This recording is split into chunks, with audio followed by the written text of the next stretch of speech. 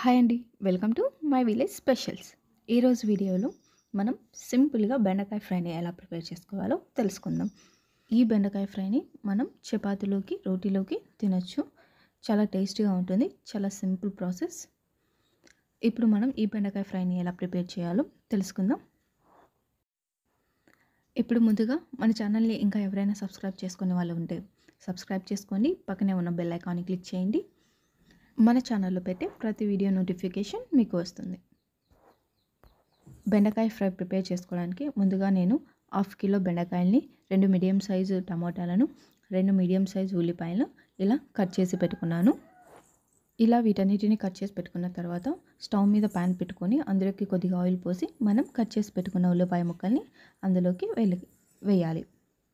ఈ ఉల్లిపాయ ముక్కలన్నిటిని బాగా వేయించిన తర్వాత అందులోకి కొద్దిగా కరివేపాకు తిరువాత దినుసులు వేయాలి. ఇప్పుడు వీటన్నిటిని కొద్దిసేపు ఫ్రై చేసుకొని తర్వాత ఇందులోకి మనం కట్ చేసి పెట్టుకున్న టమాటా ముక్కల్ని కూడా వేయాలి. వీటన్నిటిని కొద్దిసేపు బాగా మగ్గించుకోవాలి. కొద్దిసేపు వీటన్నిటిని ఇలా ఫ్రై చేసుకున్న తర్వాత ఇందులోకి మనం కట్ చేసి పెట్టుకున్న బెండకాయ ముక్కల్ని వేయాలి. వీటన్నిటిని ఒకసారి బాగా కలిదిప్పుకొని ఇందులోకి టేస్ట్కి సరిపడా సాల్ట్ కొద్దిగా పసుపు వేసి మరొకసారి బాగా కలుపుకొని దీనిపైన మూత పెట్టి ఎయిట్ టు నైన్ మినిట్స్ వరకు బాగా మగ్గనివ్వాలి. మంటను హై ఫ్లేమ్లో ఉంచుకోకూడదు. మంటను మీడియం టు లో ఫ్లేమ్లోకి టర్న్ చేసుకుంటూ మధ్య మధ్యలో కలుపుకుంటూ వీటిని బాగా మగ్గించుకోవాలి. చూసారు కదా? ఇలా బెండకాయలన్నీ మెత్తగా ఫ్రై అయ్యే వరకు మనం బాగా మగ్గించుకోవాలి. ఇప్పుడు ఇవన్నీ బాగా మగ్గిన తర్వాత ఇందులోకి మనం పొట్టు తీసి పెట్టుకున్న వెల్లుల్లిని డైరెక్ట్గా వేయకోకుండా వాటిని కచ్చపచ్చగా దంచుకొని ఇందులోకి వేసి మరో టూ మినిట్స్ బాగా కలుపుకోవాలి. ఇలా వెల్లుల్లిని కచ్చపచ్చగా దంచుకొని వేసుకోవడం వల్ల వెల్లుల్లి స్మెల్ అనేది ఫ్రై మొత్తానికి పట్టి ఫ్రై చాలా టేస్టీగా ఉంటుంది. దీనిని ఇలా టూ మినిట్స్ బాగా కలుపుకున్న తర్వాత ఇందులోకి ముందుగా పొడి చేసి పెట్టుకున్న ఫైవ్ టీ స్పూన్స్ కొబ్బరి పొడిని నేను యాడ్ చేసుకున్నాను. తర్వాత టూ స్పూన్స్ కారం వేసాను.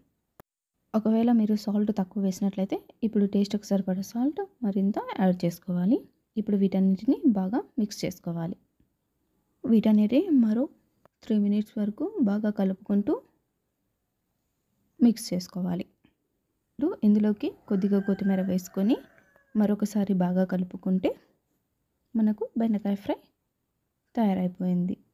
అంతేనండి బెండకాయ ఫ్రై చాలా సింపుల్గా ఎలా తయారు చేసుకోవాలో తెలుసుకున్నారు కదా? ఇప్పుడు దీనిని సర్వింగ్ బౌల్లో తీసుకుంటే మనం ఎంతో టేస్టీ అయిన బెండకాయ ఫ్రైని సర్వ్ చేసుకోవచ్చు. ఐ హోప్ ఈ వీడియో మీకు అందరికీ నచ్చింది అనుకుంటున్నాను.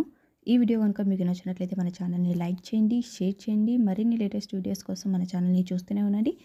పక్కనే ఉన్న బెల్ ఐకాన్ని క్లిక్ చేయండి.